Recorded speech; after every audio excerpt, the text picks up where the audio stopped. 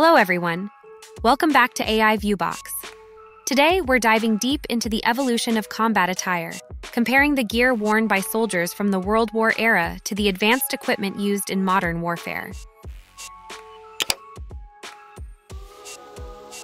In the trenches of World War I, soldiers wore heavy, cumbersome uniforms designed primarily for protection from the elements rather than combat efficiency.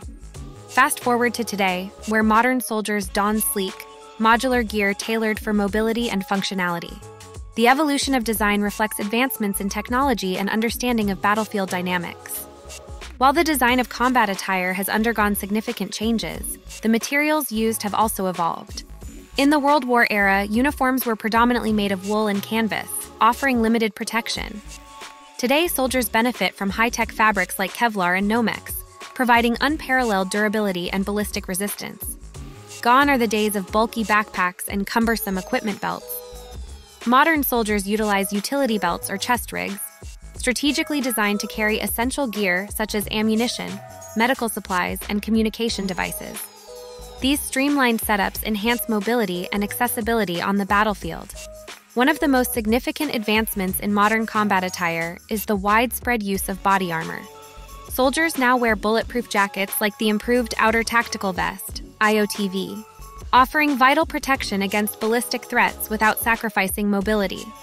The integration of ceramic plates and advanced composite materials has revolutionized soldier survivability. As warfare becomes increasingly complex, the weight of equipment carried by soldiers continues to rise. While heavier gear provides enhanced protection, it also poses challenges in terms of mobility and fatigue. Striking a balance between protection and agility remains a constant struggle for military planners and gear designers. In conclusion, the evolution of combat attire from the World War era to modern warfare is a testament to human ingenuity and technological progress. While the design has transformed significantly, so too have the materials, tactical gear, and protective equipment. As we look to the future, the challenge lies in developing gear that optimizes both protection and mobility for the modern soldier.